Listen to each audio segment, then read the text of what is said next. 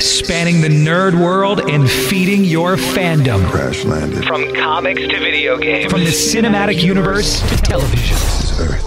Connecting you to the biggest stars in the industry. Something out there had discovered us. It's time for the Down and Nerdy podcast. Here's your host, James Witham. Spending a little time in the present this week and a little time in the past. It's episode 332 of the Down and Nerdy podcast. I'm James Witham. Happy Labor Day weekend to you. If you're in the States, if wherever you are, hey, hopefully it's a great weekend for you as well. Big show this week, actually. A bunch of interviews to share with you. So, so excited this week to be joined by the cast of Raised by Wolves, a series which you can now stream on HBO Max. Got four amazing cast members for you. I'll reveal those here for you in a couple minutes. Also, finally, finally, finally, getting a chance to share my interview with Jun Yu, who plays Cricket on the Mulan movie, which you can now see for premiere access on Disney Plus. So maybe you're already doing that right now. Maybe you haven't had a chance to do it yet. You'll get to hear from Jun Yu about his experience on the set. You are not going to want to miss that. Plus, you know, we still got some comic book reviews to talk about and a whole bunch more. But let's start things off, by the way, with four amazing cast members from HBO Max's Raised by Wolves. There's a little bit of a warning, maybe a few spoilers involved in these interviews, too. Let's get to them next on the Down and Nerdy podcast. This is April Bowlby from DC's Doom Patrol, and you're listening to the Down and Nerdy podcast heard me talk about it on the podcast before. It is finally here. The new HBO Max series from Ridley Scott and company called Raised by Wolves. And some of the very talented cast actually joined me for a virtual press event recently, thanks to the folks at HBO Max and Warner Brothers Entertainment. And the first two talented people to join me from that series is Travis Fimmel, who, of course, plays Marcus on the series. And then we also have Niamh Algar, who plays Sue, and they are together, and you'll see that when you see the series on HBO Max, which is out right now. But the first question for that I had for them was, you know, this isn't really your first your typical sci-fi series. What did you think about that when you first got on set? It's pretty obvious really early on that this series is not your typical sci-fi series. So did you all kind of get that sense as well? When you first stepped on the set? Uh, for sure. I've never been involved in a sci-fi, but I was blown away with what Ridley has visualized and, and created.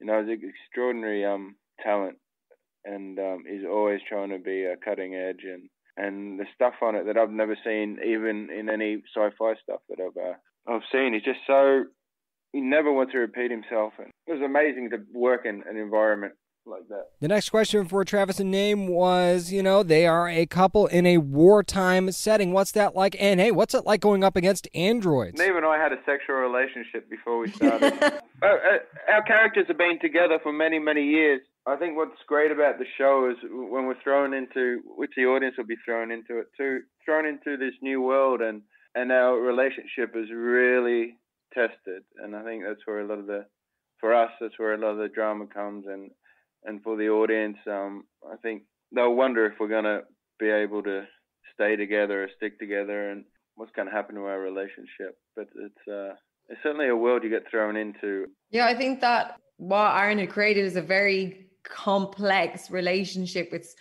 it's uh, like like uh, Travis said, it's like these people have been together for a long time, so they have that history, and then they have the new task of creating this new identity and how that would change, I think, their own relationship and how they are kind of feeling towards each other because it's interesting. It's such an interesting uh, idea to the, the idea that visually you've fallen in love with someone and then all of a sudden the next day or you know you're fa- faced with trying to make a connection with a brand new face of, of, someone else that that you know is a stranger to you and but deep down it's it's the connection those two people would have had kind of ingrained in them and, and how that then is challenged through the course of the series. So it's uh but yeah, Travis was a he was a great to work with and he's a he's a he's a trickster.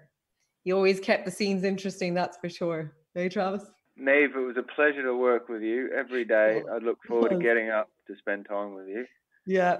The next question for Travis and Niamh was actually the uniqueness of the uniform. She talked about that. Not only that, but what is the object of their quest, and maybe does it change over time? I just thought this answer was really interesting. Check it out. I think both characters have had to spend their whole life, and uh, and Marcus was a, a child soldier, their whole life just trying to um, survive. I don't think he's ever had a chance to. My character has never had a chance to um, have goals or dreams or or imagine imagine a better world for himself. I think he's just spent his whole life trying to survive, and now he's on a, a new virgin planet trying to do the same thing, uh, and then he's very flawed in his in the way that he relates to people a lot of the time because of his upbringing, and um, sometimes I feel bad for Niamh's character because I'm not the best husband in the world, although I love her dearly. and she's a great cook. you cook you cook that in that scene. You cook the rat in that. Oh, no, I do. Sorry, my bad. I do. We had an incredible like Janty Yates who designed the hmm. costumes on this with with Ridley. It's um aesthetically it's unlike anything that I had seen. And um, when you you when you're putting on those costumes, you're kind of it's like you're putting on an armor, um, which is an armor in which these these people have around them. They're incredibly guarded because of uh, the way in which they're they're raised, and especially for for Travis's character, he's he's a he's a child soldier, so he has it's ingrained in him to to protect kind of like you know himself and the the, the vulnerability is trying to get that through. But yeah, Travis had an incredible coat as well, um, that I was very jealous of. I actually made that coat myself. Did you? Yeah. You you were wasted in acting, Travis. I kind of agree. I was a great seamstress. When you watch Raised by Wolves on HBO Max, you'll find out that there's some serious religious themes in this thing. So, my last question for Travis and Niamh was to talk about those religious aspects and how they kind of balance both sides in the show. Uh, this show has a lot of really big religious aspects to the story, especially early on. So, how did you both feel like the series kind of balanced the beliefs on both sides, both of the androids and the humans?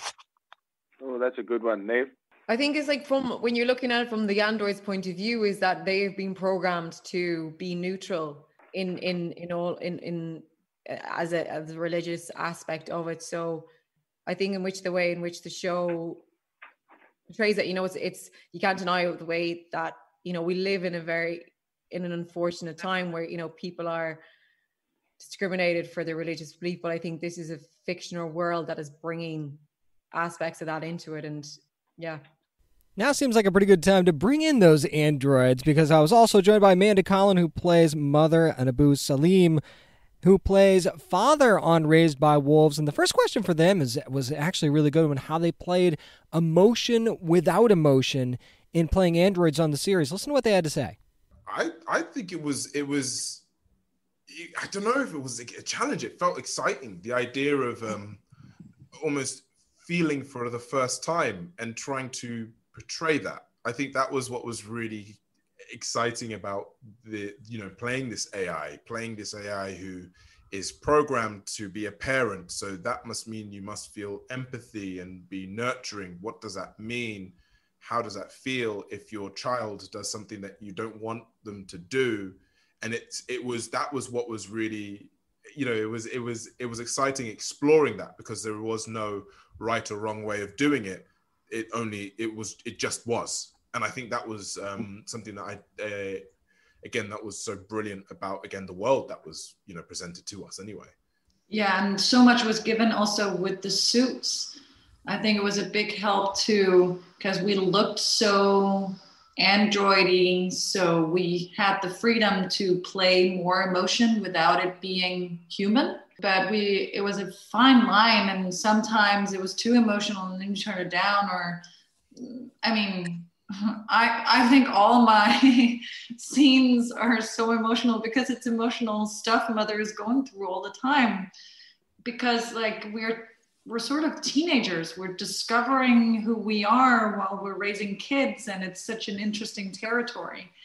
And so much brilliant stuff to play with you know like when Speria dies, there's a grief in mother, both because of losing a, a mm-hmm. child or the last girl, but also because of her failure in her mission. And I think that was so interesting to play with because she's programmed to do something and she keeps failing to, to play with that. And that might look like just regular grief or whatever but i think there was so many layers that we could play with and pull up and work on that it made it just like the most interesting characters to work with ever. So my questions for Abu and Amanda were about the different parenting styles of mother and father as androids, and I think you'll like their answer. James from the Down and Nerdy podcast. Thank you so much for you guys uh, taking the time today. Obviously, there's many different ways to raise children. So, how would you describe mother and father's parenting style? Mother destroys people. Father tells jokes. Yeah, that sums it up. That's uh, yeah. I think I think it's I think I guess it's it's you know there's no really right or wrong way of raising children, and I think that's what is interesting about mother and father's sort of you know discovery and, and play of that. You've got you know father on one end trying to teach the children you know how to survive or or how to to sort of cope and manage. You've also got mother teaching them about education about the you know about the world before and how you know the mistakes not to make. So i think it's it's one of those things which is just constantly adapting and evolving with the children right? And I think it becomes very interesting when you know in the, in sort of the first episode where we have our original children and the original children are new they're fresh they're they're of this world. And then now after you know after the event of, of, of almost you know of losing them you then have to then deal with raising children who are coming already with history and with a baggage. And that then evolves how you are supposed to raise them. And it's yeah it's it's a it's there's no one way of putting it. It's it's just constantly evolving. Awesome, I don't know if you. you can hear a crying child in the background, but that's pretty much how I. I mean, there you go. That's how, how Amanda raises children. her children. Finally, you heard Abu mention about jokes. Well, yeah, there's dad jokes that are a part of this series, and who knew that an android could tell dad jokes, right? So the last question that was asked was about, you know, how Amanda felt being on the receiving end of said dad jokes from Abu and just how fun that was in general. Check it out. I mean, she loved it. I'll answer that for her. She loved it. Like, no, I think for me, you know, I it was it's funny, right? Dad jokes are like so awkward and so weird, and they come at the most awkward times. And what what I really discovered was the fact that they are they they they are designed to relieve some weird tension. So, for example, like you know fathers giving jokes right after mother massacred an, an entire ship. So it's like okay that's the you pick your moments mate and it and it seems to work. So i feel like yeah it definitely um it's it's definitely a tool in which i'm definitely going to keep you know in my back pocket you know in the future when i start having children. It's just throw a dad joke there when the world is ending also don't underestimate the power of of lightening things up you know? You use them so clever and i think you know with um, hunter when he's like being a smartass you know that's a clever way of using yeah. the dad joke. And i think i genuinely think they were fun. I mean i was la- like i was laughing for real. And every time i watch the episodes i cannot help texting Abu like i am so in love with you. Because my the dad jokes are my favorite part too Oh. Yeah. You know, that's one of the things that surprised me about this show, Raised by Wolves, was that y- you know how serious it was. You know how steep in sci-fi it was going to be. I didn't expect it to be funny in parts, though. And and Abu hits the nail right in the head. It's awkwardly funny. That is one of the best parts about it. So, I mean, you got to see Raised by Wolves. It's streaming now on HBO Max. You will not be sorry that you did the first three episodes, and then they're going to come weekly after that. I mean, I cannot wait for you guys to see what's coming. And I, I just have to prepare you mentally for that first episode. It is a freaking ride and a half. I will just just prepare you mentally for that right now. It is that good and it is that intense. Once again, thank you so much to everybody at HBO Max and everybody who joined me from Raised by Wolves this week Travis Fimmel, Amanda Collin, Abu Salim, and also Niamh Al- Algar as well. Just a, an amazing cast, and I cannot wait for you guys to see what they do. So, yeah, if you don't have HBO Max, now would be a good time. Let me tell you that right now. That's going to do it for my interviews with the cast of Raised by Wolves. Up next, speaking of streaming, got the first few episodes of The Boys. And yeah, let's dive into that for a little bit. Maybe spoiler free this time. Next on the Down and Nerdy podcast. Hi, this is Sean Ryan. And I'm Eric Kripke. And we're the creators of Timeless on NBC, and you're listening to the Down and Nerdy podcast. The boys are back and maybe better than ever. Who knows? That's right. Amazon actually was a little bit tricky this week and dropped the first three episodes of The Boys a little bit early, actually a day early. So fans, because fans just couldn't wait anymore. And the first three episodes of season two available now. Of course, the rest are going to come out weekly. And, and I got to tell you, these first few episodes, since they just, as of me recording this, they've just come out. So I'm going to go ahead and give some spoiler-free thoughts on the boys. Maybe I'm, maybe that's a little bit of a bummer for you, but I'm not going to spoil it for anybody that hasn't had a chance to see it already, right? So, so I'm going to be fair here. No spoilers for my early season two review of the boys, but I will tell you, but basically what you've been seeing in the trailers and the clips and stuff like that, that's what's happening. It's it's the boys, and they are on the run or in hiding, however you want to describe it. They are being hunted by pretty much everyone because remember, the public still loves the supes. The public still has no idea about who the supes really are.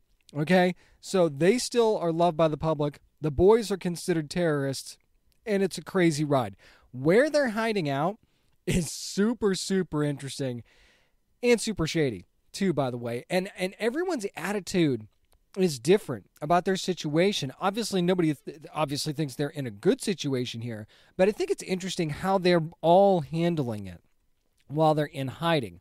And obviously, in the beginning, you know about, the, about Butcher's absence. I don't have to tell you about that. That's not a spoiler. It's also not a spoiler that he comes back, and sooner than you would think, too, by the way. And the reaction to him coming back, too, is also different from everybody. You've actually seen that in one of the clips where he, that is when he's he's coming back, sort of thing. So uh, it's just interesting how everybody reacts. The one thing that stood out to me the most in these early episodes is how different Starlight is. That was one thing that really, really jumped out at me. And you kind of see Erin Moriarty, who plays Starlight, sort of make that turn late in season two. But at this point, she's like, she's fed up, right? She's been pushed enough, and she's just very, very, very different. Her tactics are different as well. You'll understand what that means when you actually watch the episodes. You've seen the clip where she confronts the, the deep in the set. That, that's the second episode, actually of se- of season one when she confronts when she confronts Deep, who tries to half-heartedly apologize to her, and she basically tells him that there's no way in hell he's getting back into the seven, and and the, she, that's the kind of stuff that you're going to expect from her. But there's a few things that she does in these first few episodes that I think are going to surprise you a lot, and I think I wonder if it's going to change your opinion of her a little bit, or maybe it'll make you like her even more. I guess it depends on your perspective. One of the other things that really jumped out at me is obviously since Homelander burned out, you know, the eyes of the last head of Vought, we need new leadership of Vought, right? And I think you'll be surprised as to who that new leadership is chosen by Homelander too, by the way. And somebody gets a real bite of, out of a reality sandwich about Homelander in this season too. I don't know if uh, she was expecting it, but she absolutely does. But let me tell you what. This is one of the reasons why I love Giancarlo Esposito. I'm just going to throw that out there right now. He is a big part of what happens with Vought and the way that he approaches things.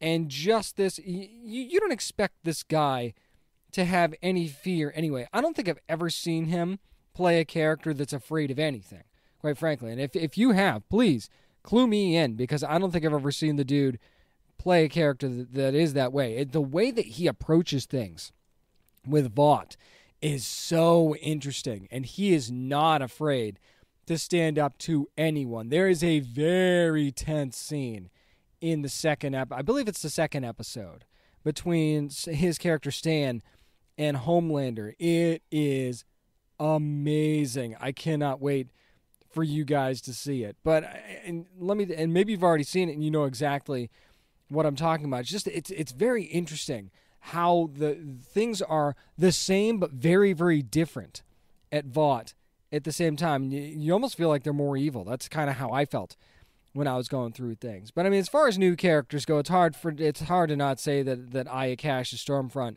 doesn't steal the show as a new character. The way that she had her zero filter attitude that she brings to things is, is so is so fits in this show. And anybody that's going to give Homelander a hard time, I'm cool with that too. So a- anybody that wants to give Homelander a little bit of a tough a tough go, yeah, I'm going to enjoy that extensively. So yeah, she she definitely brings a different flavor to the mix of the seven, no question about it. And you could certainly understand why somebody would want her on the team because she would bring a lot of attention and a lot of likes. Apparently, you've seen that clip too. You've seen that in the in the clip that they released. I believe it was a Comic Con at home or one of the one of the events where they were they were releasing a clip about introducing us to Stormfront, where she's got a good social media following. And hey, in this day and age, that kind of thing matters. So uh, it's just if you loved season one of The Boys, this is going to be like you know an old friend that you haven't seen in a while. Like like you know we're all allowed to do stuff again once this pandemic slows down or, or ends or however this is going to go when we get back to our normal lives you finally get to you know actually meet people again and go out in person and you know give people hugs and things like that. That's what this season feels like. It feels like the return of an old friend that you haven't seen in a while that you have just been dying to see ever since. And that's exactly how season two of The Boys feels. It was just so good. I mean, Homelander is exactly what you'd expect. You know, Butcher, exactly what you'd expect. Hughie, paranoid as ever. Gotta love that.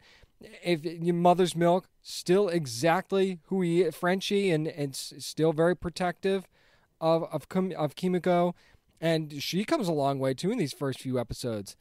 Too, by the way, I really really loved how they did that as well. But this show does just such a great job of explaining where where it's at, where it's going, and just putting all the right pieces in all the right places. Eric Kripke and company, you can understand just by watching these first few episodes how Amazon could see this and go, well, we've got to have a season three. This is obviously going to be a huge smash hit.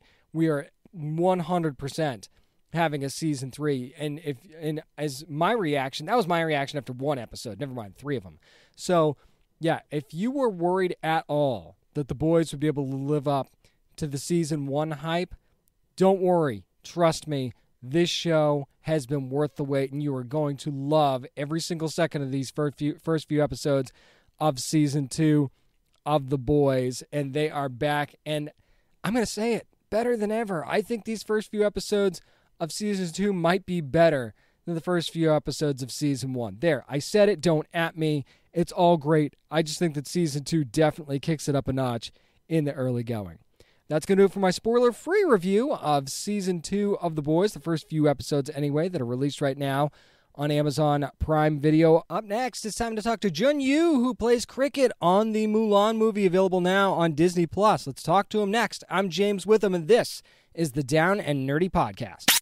Hey, this is Nelson Lee from DC's Stargirl, and you're listening to the Down and Nerdy Podcast. The wait is finally over, and it feels like forever, doesn't it? Mulan is finally here, available premiere access on Disney Plus right now. And if you had a chance to see it yet, you know that he is a part of it. He plays cricket on this new live action adaptation. Talking to Jun Yu. Jun, how you doing? Hey man, how you doing? I'm doing great. Now, you're a relative newcomer to Hollywood, actually, and you know you've been in a few things. And I heard that Mulan, though, was actually like your first professional audition. What was it like, kind of swinging for the fences on such a big project? Oh man, when I got the call to do the audition, I, you know, it was my first thing, so I didn't really know what to expect, and so I just did the work. I went in, did the audition, and then just been getting callbacks, and then eventually just got the role, and it's been nice. It's been crazy. Now, how familiar were you with Mulan, the Mulan story, before you actually auditioned for the role? Oh, that was my that was my favorite uh, Disney movie. I think I was born around the same time. I was born '97, but it was like near then.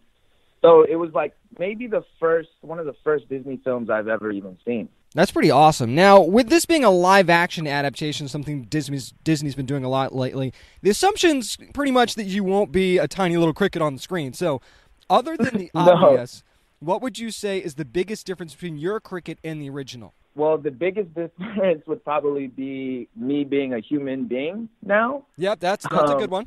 Uh, yeah, so he's walking on two legs instead of six, four. I don't know how many legs crickets have, but uh, that's pretty much pretty much the biggest difference. Everything else I pretty much embody from the original, so it's pretty yeah, it's pretty much same but different. You know? What what is that like though? Because that can't be an easy thing. Be like, okay, so you were an insect, now you're not. Go. Yeah, yeah. I mean, in the script, it's just him as a person, so it's not really them taking it from you know the animated film. I mean, it was just he's a human being, so it's just easy to really connect with the emotions and everything like that, and everything he would feel in wartime. Most definitely. Now we know that in the animated version that Mulan and Cricket are very close for obvious reasons. So how much can you tell us about how close they are in this in this iteration? I wouldn't say I can't say much, but I wouldn't say that we are like besties in that sense. I pretty much joined the, the like the group.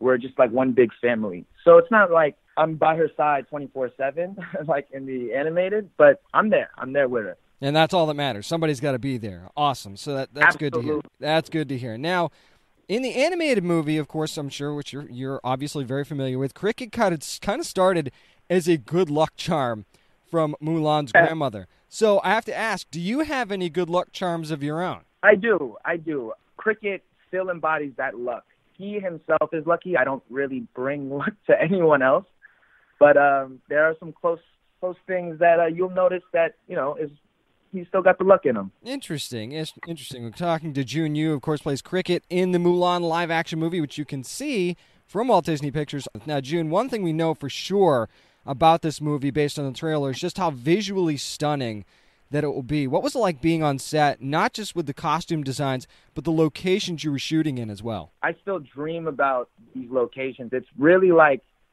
you ever see like a Windows like desktop screensaver? It's pretty much you're living that in real time in all these locations. It's just to see some of this. I, I really never thought I'd dream to see these places, and it was amazing. Places where barely any human beings have touched, and I've been blessed to have lived and breathed that air. You know. Definitely, and you know, obviously, we've also seen from the trailers there's going to be some epic battle scenes in this movie. It's there's war. I mean, there's no certainly no doubt about that. Seeing them on the screen is one thing because I mean, there's certainly been some epic battles in movies over the years. What's it like to kind of see that in real time, like you're a part of this thing? How vast is it from like a personal point of view? it's a little uh it's different.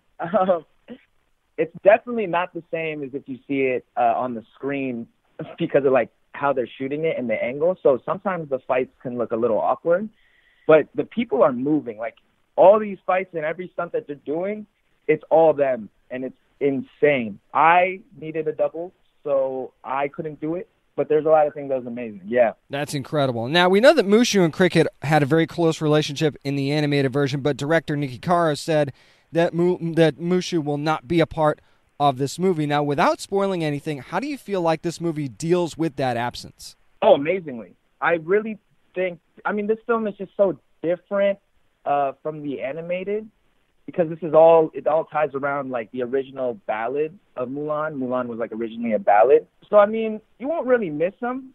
You just know that, you know, he was there in the animated. But she does really well. There's there's so many different things in this this film that Mushu could never bring. And it's so special. And this film is going to be so good. And I can't wait for everyone to see it. Do you feel like different is kind of a good thing too? Because you know, a lot of times when you're seeing stuff going from animation to live action, you know, you have got some diehard fans of the original that want to see that. But do you think in this particular instance, different is a good thing and really works out for this movie more than others? Oh, amazingly. I, I really, I mean, storytelling is that. Like, you don't want to know what the ending is, or you don't want to know, you know, the whole thing. So it's a little difficult to do, you know, these live actions and do it the same. So I really feel that this in particular, because we're doing it differently, it's it changes the entire game. It's so good. Now, this version, speaking of different, this version Mulan actually introduces a new villain, a villain, which is a witch named Xianniang. Now, We have seen only a small sample of what she's capable of in the trailer, so I'll ask you, just how scary is she? She's she's just mysterious. I wouldn't say she's you know scary, but I can't really say too much about her to be honest. But she's amazing. Gong Li, who plays the witch, is phenomenal and a sweetheart, and I love her. Well, speaking of that, let's expand on that a little bit. Talk about your cast and how amazing it was to be a part of this group and just how it was being on set with everyone. Oh God, I wow, this is yeah, it was it was incredible. I mean, just to see Jet Li, just to see Donnie, just to you know see all these people that I've seen like kind of growing up, it's incredible. And to breathe the same air, to work on the same thing, it's it still feels like a dream. It's honestly crazy. So, as a newcomer, did you kind of get to pick their brain a little bit? And if so, what what was the best piece of advice that you got while you were while you were chatting with them? No, no, uh, I didn't. I didn't want to go and annoy them with a bunch of questions. But we, we definitely hung around. I mean, like I'm I'm 22 and they're you know they've been in the business. So I don't want to like, hey man, what was it like to you know do all this and you know what should I do here? I you know they they pretty much have just acted like big brothers and just by doing their work i have learned so much through them. Not that they gave me any advice but seeing them you know set the examples it's been it's been crazy. So i learned a lot of like set etiquette and this that and the third. It's it's amazing. Visual learning is important Jun. Very important. Yeah yeah. There you go. There you go. Now, I was also told that you are a rapper in your downtime and you're actually working on some new music right now. So I'm just going to go ahead and spoil it right now. I mean, clearly the post credit scene for Mulan is a cricket freestyle, right? Yeah, yeah, yeah, absolutely. Uh, Niki definitely gave me the time to get the mic and rap about a bunch of nonsense. but no, um, it's yeah, music's coming on the way. It's been something I've been doing ever since I was like ten, but I just haven't wanted to release it just just yet. I mean, there's a lot of opportunities for musical roles out there. Something that's something you're going to be looking into at some point. Oh no no no no no! Don't, I don't want you to get it twisted. I, I cannot sing for the life. I cannot. That's why I'm rapping. You know, um, but it's good. It's good. I think I think that there's definitely you'll see more of my projects and stuff like that soon. Awesome. Now, Jun, before I let you go, looking back on your experience shooting this movie and being a part of this just massive undertaking is there one memory that kind of sticks out for you the most? If you you know if you were to look back on this in five, ten years later. Oh man, there's just so many memories, and I couldn't really pick one out. But all of the times, I think that like oh, you know what? I did. I do remember one. I think it's pretty much when they told me I was uh, wrapped, like I was done. This was my last scene and everything like that. And as soon as you know we finished this one last scene, I broke down crying. It was just because it was just such a roller coaster and it's such an adventure and for it to all come to an end. And it was it was happy tears not like sadness but it was just so beautiful to be a part of it and just be with a lot of people who love acting and love storytelling. And it was just phenomenal. So i think that will always stick by me of how i'm crying utterly and so ugly in front of everyone. Well, you can find out what there is to chirp about because Mulan is available right now, premiere access on Disney Plus if you want to watch it right now. And you will see this guy and all of his hijinks and all the big battles that he's a part of. It's Jun Yu. Thank you so much for joining me this week. Thank you so much for having me, man. Thank you. This is comic book writer Jackson Landon, and you're listening to the Down and Nerdy Podcast. Whether you're popping open some bags and boards or popping the hood on the old laptop, whatever you're reading on, it's time for what we're reading. And if there's a new Hellblazer book, you know I am gonna grab it. It is Hellblazer Rise and Fall number one from DC's Black Label. How about Tom Taylor writing John Constantine and Darick Robertson on the art? You'd grab that, wouldn't you, just based on that alone? Diego Rodriguez on the colors and Deron Bennett on the letters. Gonna do some spoilers here because this book has been out for a few days now. And one of the things I really liked about it actually was that it was a more personal take on John Constantine. We, we you know, you see a lot of magic, you see a lot of wiseassery when it comes to John, right? You see some, you know, some backstabbing, some typical John Constantine things.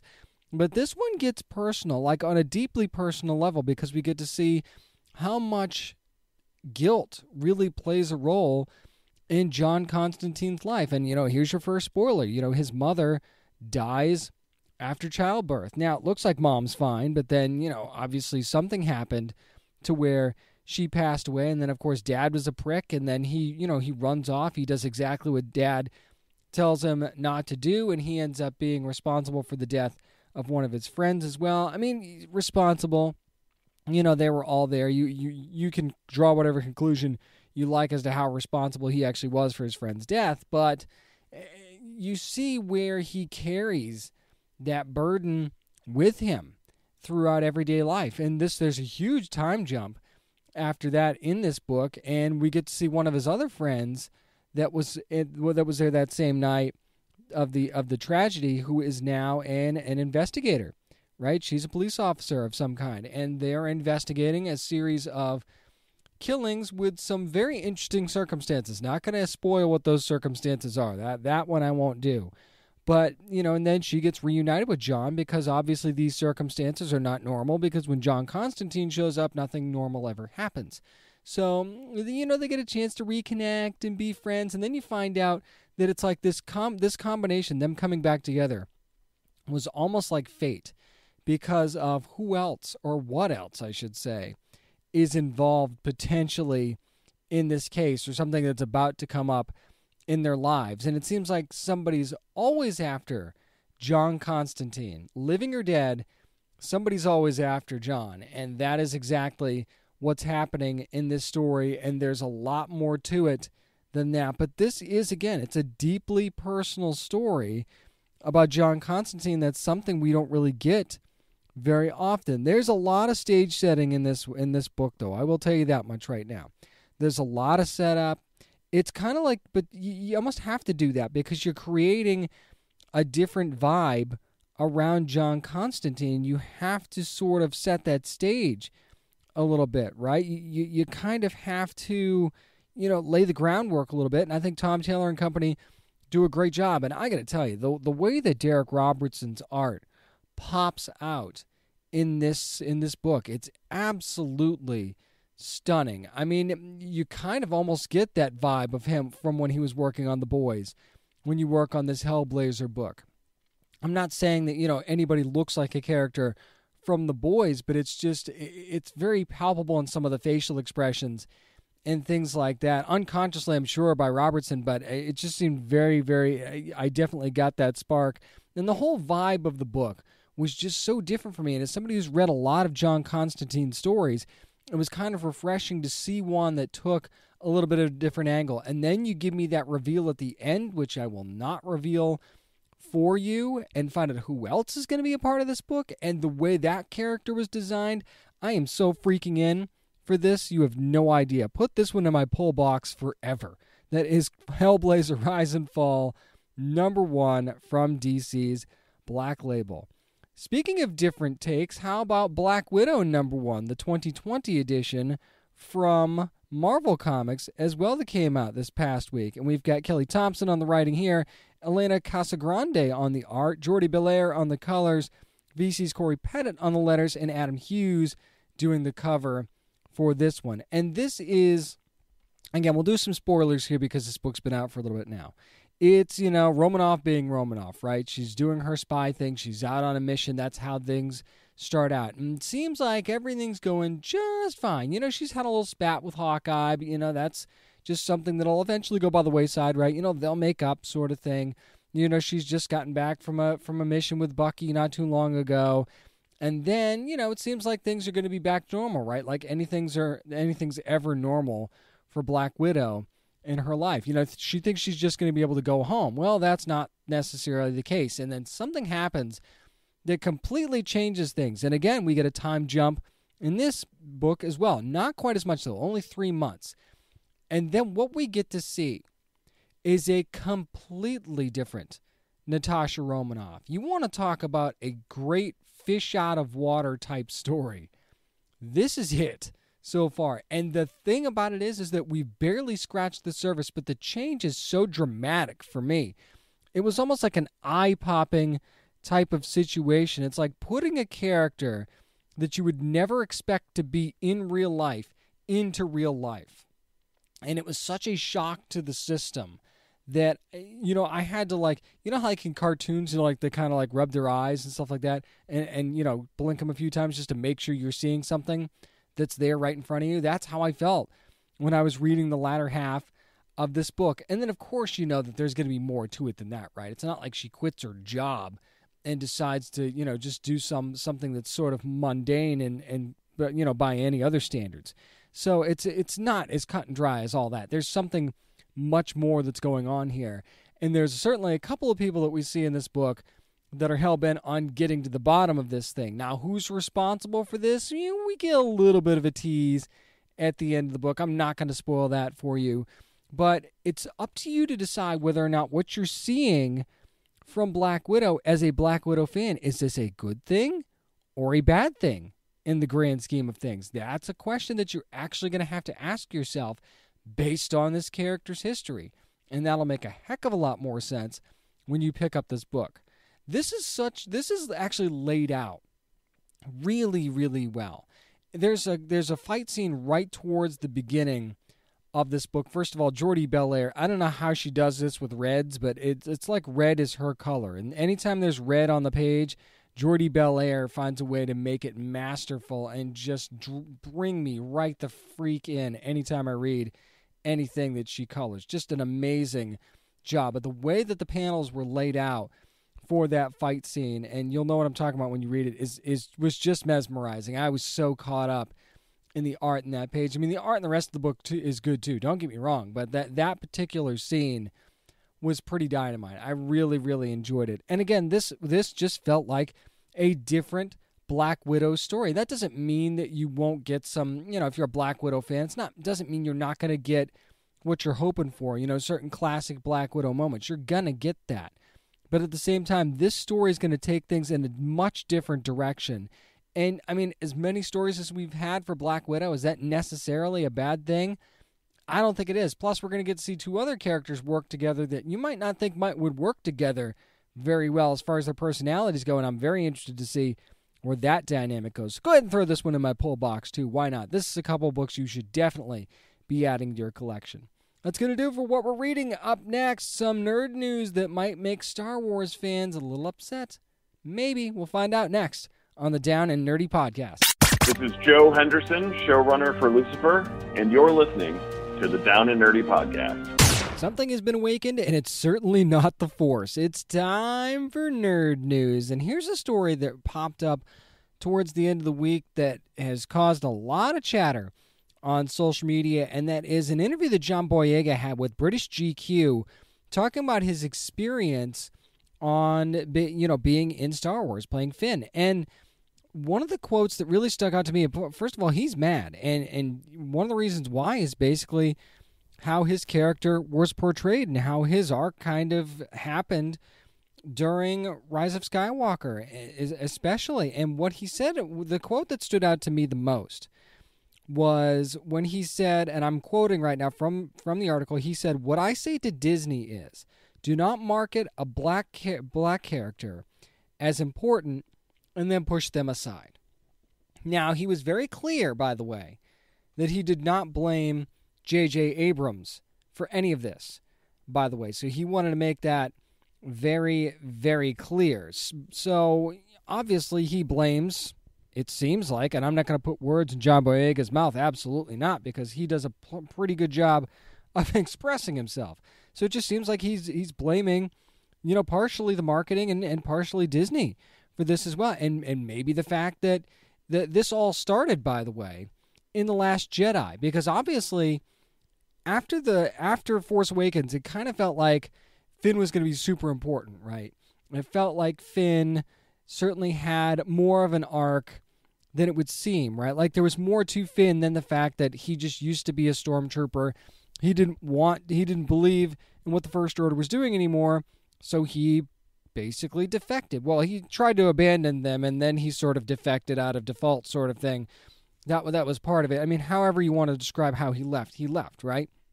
But it it certainly became obvious, at least to me anyway, that there was going to be more to Finn than just that simple arc. Well, then you get to Rise of Skywalker. Fast forward, and it's like so he's spending part of the movie as like a lovesick puppy dog for for Rey, and then he's a sidekick at best at the end of the day, it was like, eh, you know what? Obviously, you know, I enjoyed the buddy stuff between Finn and Poe. I enjoyed that the the the bromance that they had together, and their scenes together were amazing. And yes, Finn certainly had his moments in Last Jedi and in Rise of Skywalker, but you built him up, and then you kind of didn't do anything with it. And that was one of my things that that always left me scratching my head about Rise of Skywalker. Is like you you did all this with Finn, and then you just kind of decided to not. I mean, did you change your mind or something? I don't know exactly what's going on here. So I'm not saying that I necessarily agree with everything he says.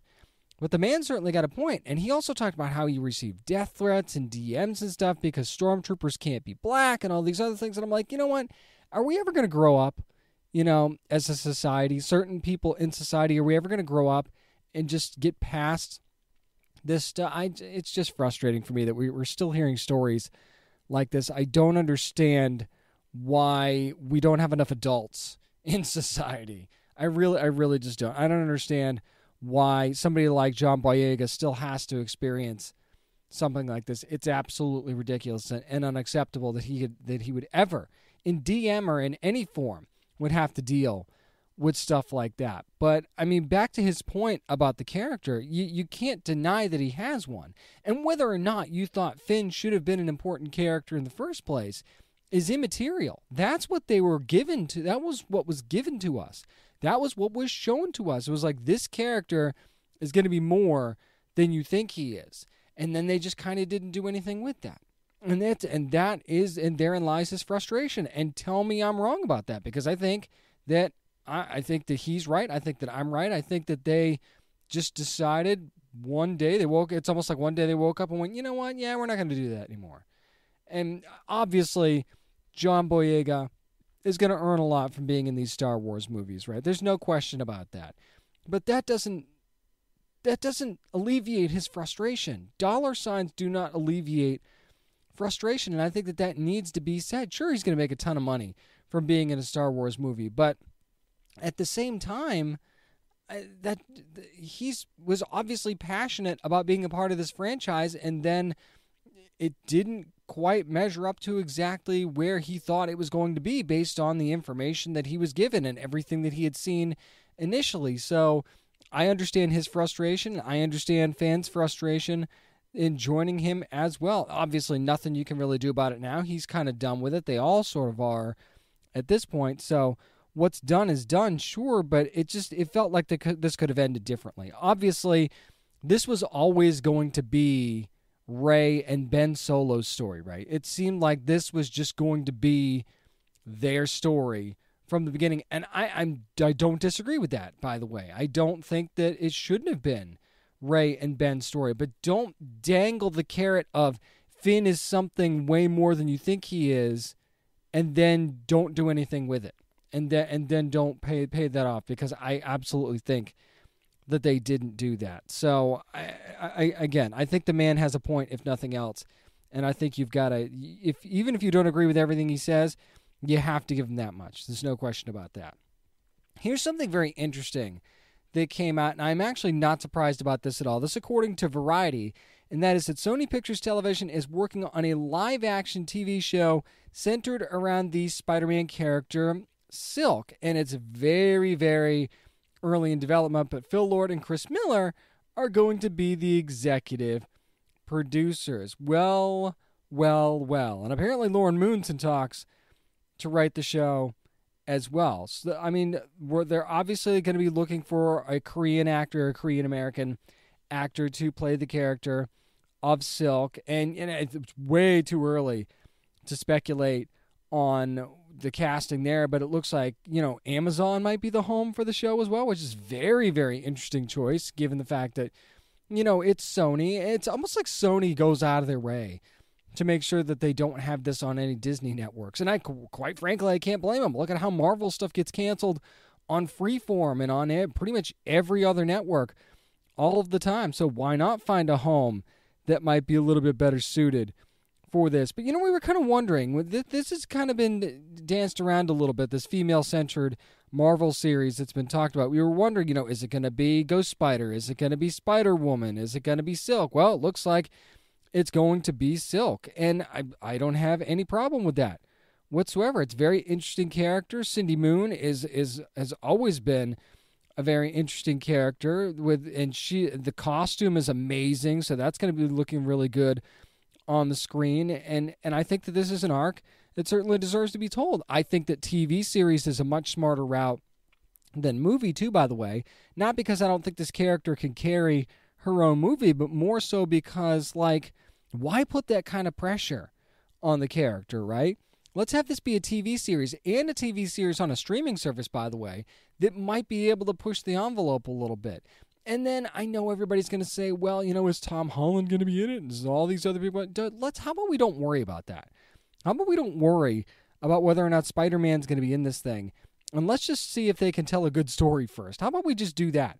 How about we establish the character who's actually in the title of the series and then maybe worry about an occasional pop in cameo from a character that you might know? Or you know what? Maybe this is a chance to expand the universe of the of the of Spider-Man and maybe go a little bit beyond things that you might know already and open your mind up about a completely different character who has by the way had her own own ongoing comic series too by the way at Marvel. This is a character that can easily carry a TV series. And if they want to do a Spider-Woman movie with Olivia Wilde, that's that's certainly within their realm if they want to do that. If they want to do a Ghost Spider, Spider Gwen, whatever you want to call her, you want to call you want to make a movie about her, knock yourself out. We've already seen her in Into the Spider-Verse, by the way.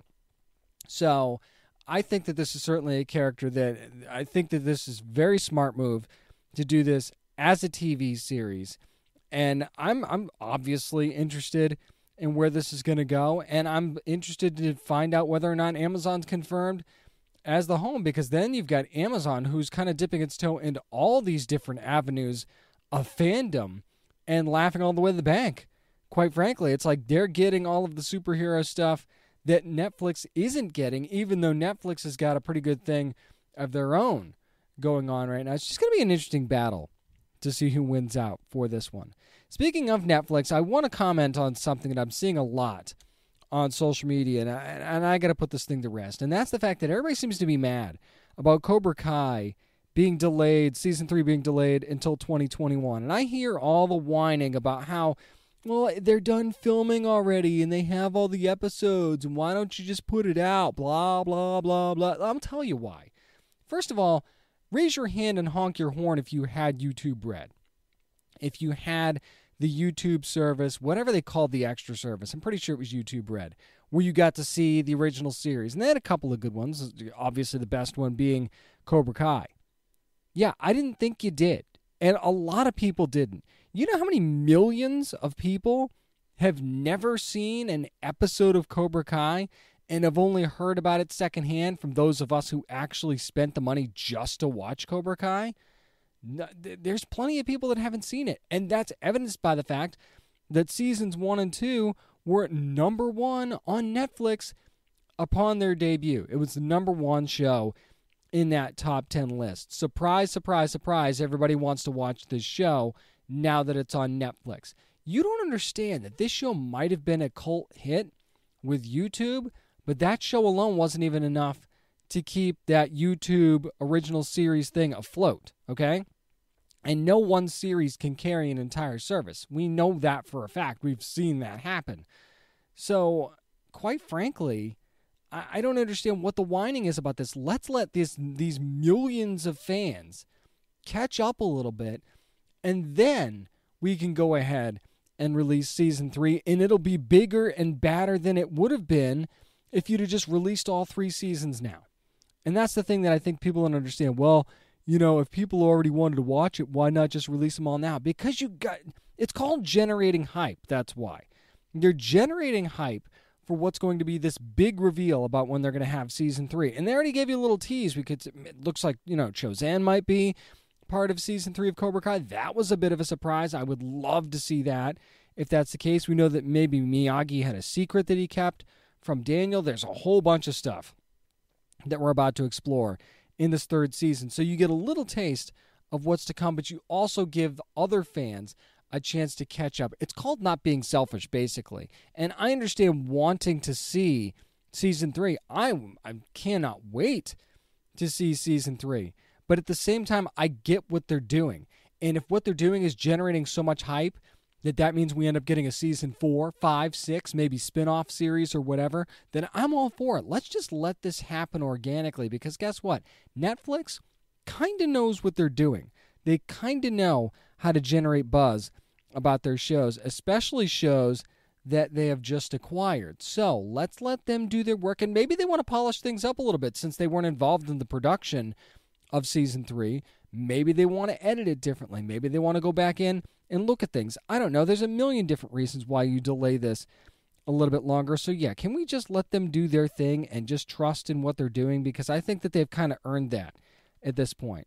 Really quickly, I want to make sure you know this in case you missed it. The Mandalorian Season 2 going to be coming out on October the 30th of this year. So, there's something that you won't have to wait until 2021 for. You'll get to see The Mandalorian the day before Halloween. So, it's almost like The Mandalorian is premiering on All Hallows Eve. Think about that for a second, right? That's that's a pretty cool deal. And then I want you to think about all the cute baby Yoda costumes that you're going to be seeing walking down the streets during trick or treating. Hopefully, there actually is trick or treating because if there isn't, then my son, my wife, my entire family might just explode. We are going to absolutely have Halloween in some way, shape, or form.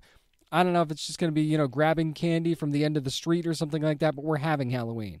I'm just letting you know that right now. That's going to do it for this week's edition of the Down and Nerdy podcast. Again, thank you so much to all the amazing guests that I had this week, whether it was from Raised by Wolves or, or Jun Yu from Mulan. So many amazing guests. You want to find out more about everything that goes on on this show and past shows, things like that, go to downandnerdypodcast.com. Also, follow along on social media as well. We're at Down and Nerdy 757 on Twitter and on Instagram, and at Down and Nerdy on Facebook. Remember, you never have to apologize for being a nerd, so let your fan flag fly and be good to your fellow nerds.